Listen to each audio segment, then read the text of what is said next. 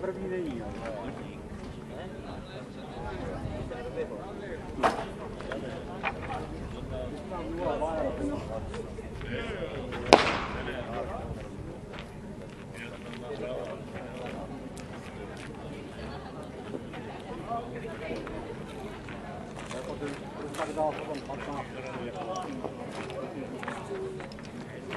Taky Vojta Fiala ještě bojuje 17.57. Tady položím to.